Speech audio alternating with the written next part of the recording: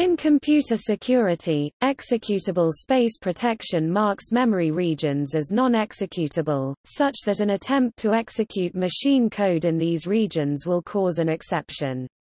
It makes use of hardware features such as the NX bit, no execute bit, or in some cases software emulation of those features. However technologies that somehow emulate or supply an NX bit will usually impose a measurable overhead, while using a hardware-supplied NX bit imposes no measurable overhead. The Burroughs 5000 offered hardware support for executable space protection on its introduction in 1961, that capability remained in its successors until at least 2006. In its implementation of tagged architecture, each word of memory had an associated, hidden tag bit designating it code or data. Thus user programs cannot write or even read a program word, and data words cannot be executed. If an operating system can mark some or all writable regions of memory as non-executable, it may be able to prevent the stack and heap memory areas from being executable. This helps to prevent certain buffer overflow exploits from succeeding, particularly those that inject and execute code, such as the Sasser and Blaster worms. These attacks rely on some part of memory, usually the stack, being both writable and executable. If it is not, the attack fails.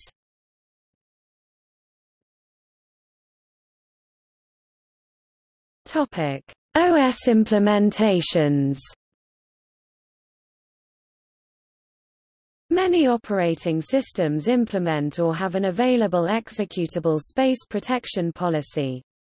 Here is a list of such systems in alphabetical order, each with technologies ordered from newest to oldest. For some technologies, there is a summary which gives the major features each technology supports. The summary is structured as below. Hardware-supported processors, comma separated list of CPU architectures. Emulation, no or architecture independent or comma separated list of CPU architectures. Other supported, none or comma separated list of CPU architectures Standard distribution, no or yes or comma separated list of distributions or versions which support the technology. Release date, date of first release a technology supplying architecture-independent emulation will be functional on all processors which aren't hardware supported. The other supported Line is for processors which allow some gray area method, where an explicit NX bit doesn't exist yet hardware allows one to be emulated in some way.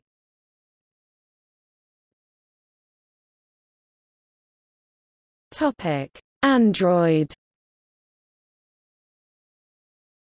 As of Android 2.3 and later, architectures which support it have non-executable pages by default, including non-executable stack and heap.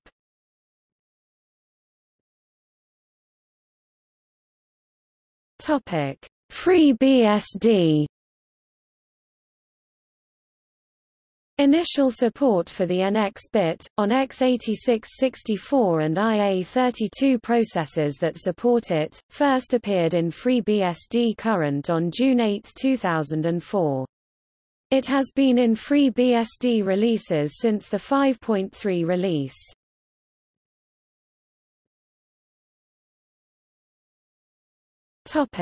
Linux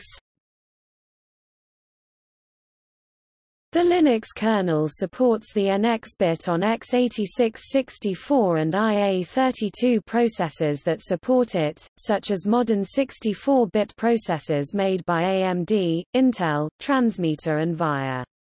The support for this feature in the 64-bit mode on x86-64 CPUs was added in 2004 by Andy Kleen, and later the same year, Ingo Molnar added support for it in 32-bit mode on 64-bit CPUs. These features have been part of the Linux kernel mainline since the release of kernel version 2.6.8 in August 2004. The availability of the NX bit on 32-bit x86 kernels, which may run on both 32-bit x86 CPUs and 64-bit IA32 compatible CPUs, is significant because a 32-bit x86 kernel would not normally expect the NX bit that an AMD64 or IA64 supplies. The NX enabler patch assures that these kernels will attempt to use the NX bit if present. Some desktop Linux distributions, such as Fedora, Ubuntu and OpenSUSE, do not enable the HIGHMEM64 option by default in their default kernels, which is required to gain access to the NX bit in 32-bit mode, because the PAE mode that is required to use the NX bit causes boot failures on pre-Pentium Pro including Pentium MMX and Celeron M and Pentium M processors without NX support. Other processors that do not support PAE are AMD K6 and earlier, Transmeta Crusoe, VIA C3 and earlier, and Geode GX and Lux. VMware Workstation versions older than 4.0, Parallels Workstation versions older than 4.0, and Microsoft Virtual PC and Virtual Server do not support PAE on the guest. Fedora Core 6 and Ubuntu 9.10 and later provide a kernel PAE package which supports PAE and NX. NX memory protection has always been available in Ubuntu for any systems that had the hardware to support it and ran the 64-bit kernel or the 32-bit server kernel. The 32-bit PAE desktop kernel Linux Image Generic PAE in Ubuntu 9.10 and later, also provides the PAE mode needed for hardware with the NX CPU feature. For systems that lack NX hardware, the 32-bit kernels now provide an approximation of the NX CPU feature via software emulation that can help block many exploits an attacker might run from stack or heap memory. Non-execute functionality has also been present for other non-x86 processors supporting this functionality for many releases.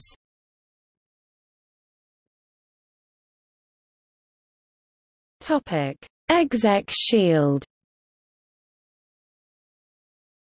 Red Hat kernel developer Ingo Molnar released a Linux kernel patch named Exec Shield to approximate and utilize NX functionality on 32-bit x86 CPUs. The Exec Shield patch was released to the Linux kernel mailing list on May 2, 2003, but was rejected for merging with the base kernel because it involved some intrusive changes to core code in order to handle the complex parts of the emulation. Exec Shield's legacy CPU support approximates NX emulation by tracking the upper code segment limit.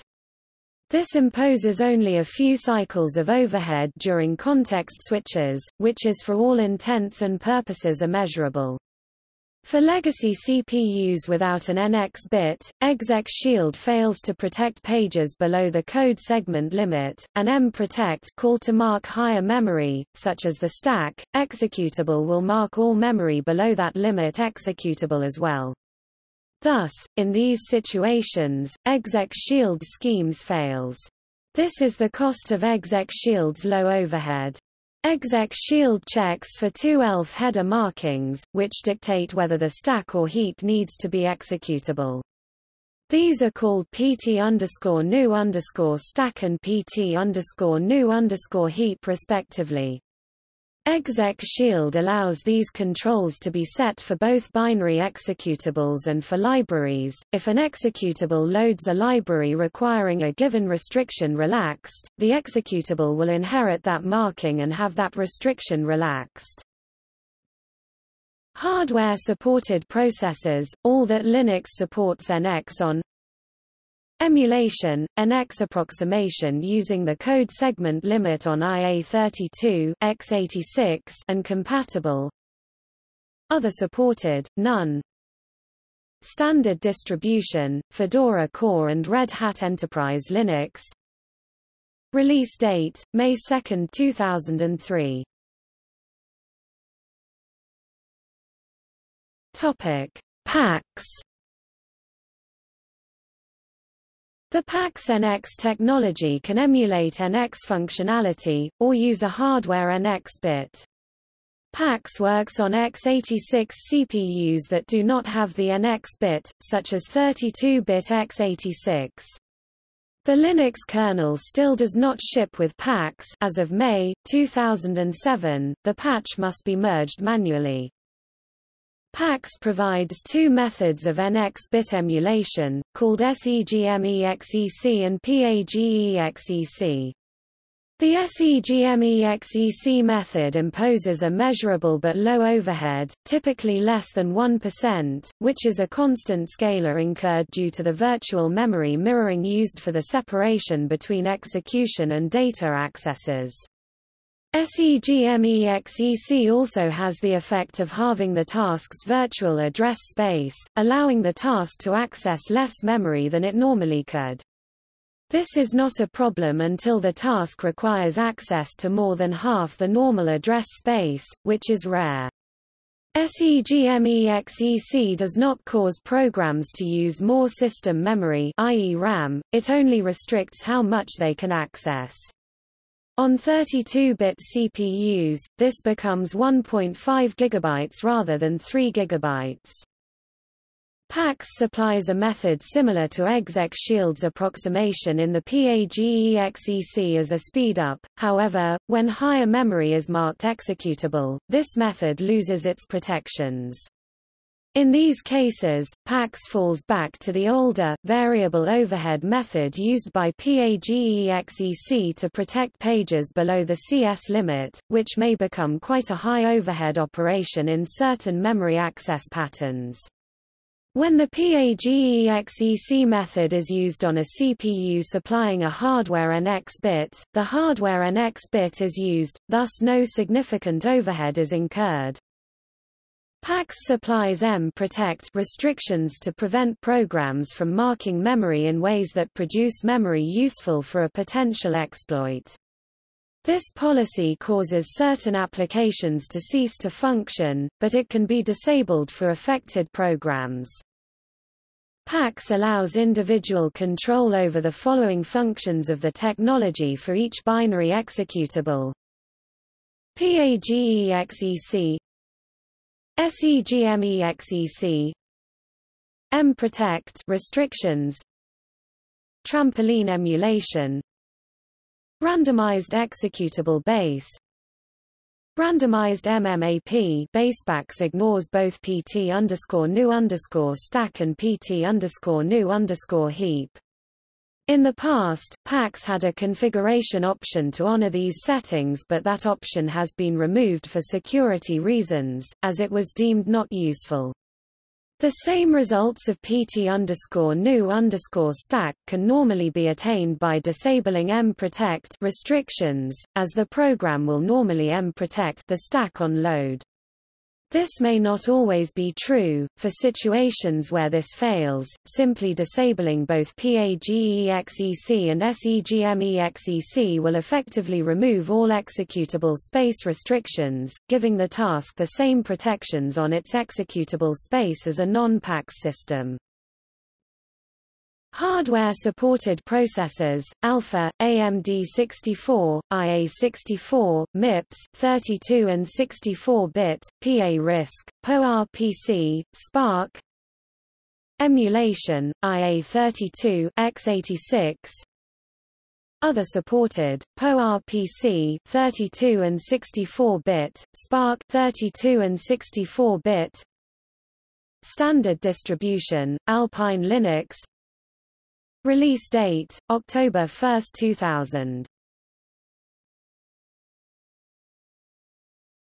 Topic: MacOS. MacOS for Intel supports the NX bit on all CPUs supported by Apple from Mac OS X 10.4.4 the first Intel release, onwards. Mac OS by 10.4 only supported NX stack protection. In Mac OS by 10.5, all 64-bit executables have NX stack and heap, W-X protection. This includes x86-64 Core 2 or later and 64-bit PowerPC on the G5 Macs.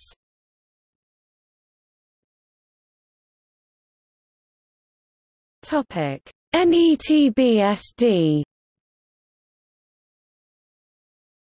As of NETBSD 2.0 and later December 9, 2004, architectures which support it have non-executable stack and heap. Architectures that have per-page granularity consist of Alpha, AMD64, HPPA, i386 with PAE, PowerPC, IBM 4XX, SH5, SPARC Sun 4 meters, Sun 4D, SPARC 64. Architectures that can only support these with region granularity are i386 without PAE, other PowerPC such as MACPPC.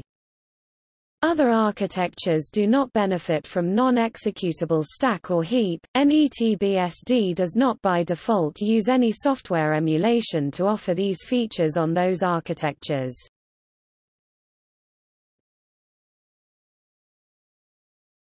Topic: OpenBSD. A technology in the OpenBSD operating system, known as W-X, marks writable pages by default as non-executable on processors that support that. On 32-bit x86 processors, the code segment is set to include only part of the address space, to provide some level of executable space protection. OpenBSD 3.3 shipped May 1, 2003, and was the first to include W-X. Hardware-supported processors, Alpha, AMD64, HPPA, SPARC Emulation, IA32 x86 Other supported, none. Standard distribution, yes Release date, May 1, 2003. Topic: Solaris.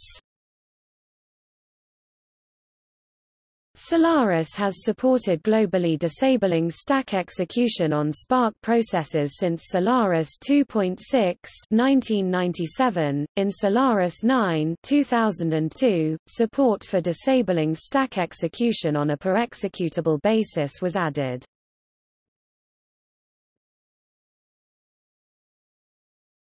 Topic: Windows Starting with Windows XP Service Pack 2 2004 and Windows Server 2003 Service Pack 1 2005, the NX features were implemented for the first time on the x86 architecture. Executable space protection on Windows is called Data Execution Prevention DEP. Under Windows XP or Server 2003 NX protection was used on critical Windows services exclusively by default. If the x86 processor supported this feature in hardware, then the NX features were turned on automatically in Windows XP, Server 2003 by default. If the feature was not supported by the x86 processor, then no protection was given. Early implementations of DEP provided no address space layout randomization ASLR, which allowed potential return to LIBC attacks that could have been feasibly used to disable DEP during an attack. The PAX documentation elaborates on why ASLR is necessary. A proof of concept was produced detailing a method by which DEP could be circumvented in the absence of ASLR. It may be possible to develop a successful attack if the address of prepared data such as corrupted images or MP3s can be known by the attacker. Microsoft added ASLR functionality in Windows Vista and Windows Server 2008. On this platform, DEP is implemented through the automatic use of PAE kernel in 32-bit Windows and the native support on 64-bit kernels. Windows Vista DEP works by marking certain parts of memory as being intended to hold only data, which the NX or XD bit-enabled processor then understands as non-executable. In Windows, from version Vista, whether DEP is enabled or disabled for a particular process can be viewed on the Processes – Details tab in the Windows Task Manager. Windows implements software DEP without the use of the NX bit through Microsoft's Safe Structured Exception Handling SafeSEH. For properly compiled applications, SafeSEH checks that, when an exception is raised during program execution, the exceptions handler is one defined by the application as it was originally compiled. The effect of this protection is that an attacker is not able to add his own exception handler which he has stored in a data page through unchecked program input. When NX is supported, it is enabled by default. Windows allows programs to control which pages disallow execution through its API as well as through the section headers in a P file. In the API, runtime access to the NX bit is exposed through the Win32 API calls VirtualAlloc X and virtualprotect X. Each page may be individually flagged as executable or non-executable. Despite the lack of previous x86 hardware support, both executable and non-executable page settings have been provided since the beginning. On pre-NX CPUs, the presence of the executable attribute has no effect. It was documented as if it did function, and, as a result, most programmers used it properly. In the P-file format, each section can specify its executability.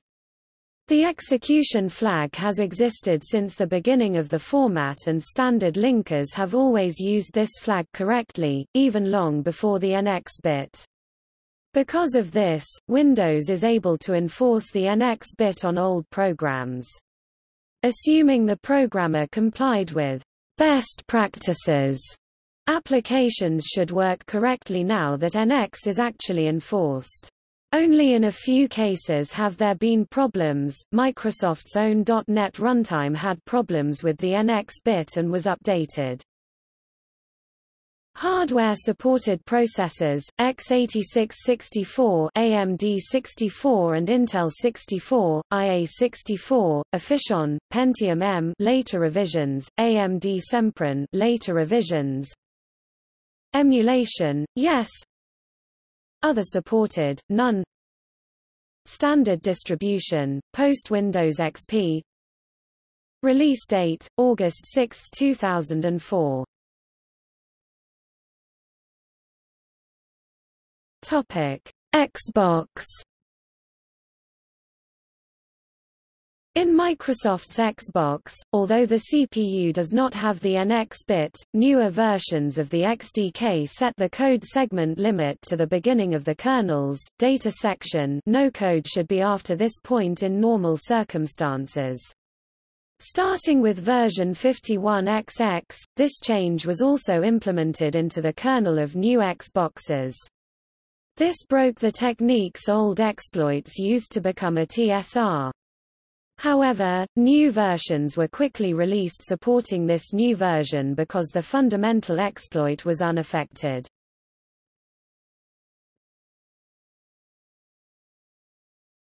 Topic: Limitations.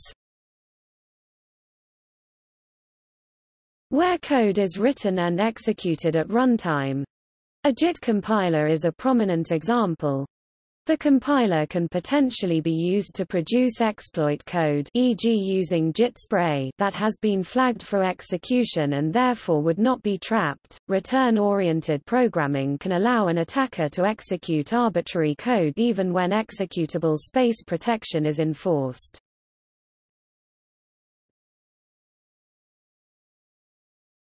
Topic: See also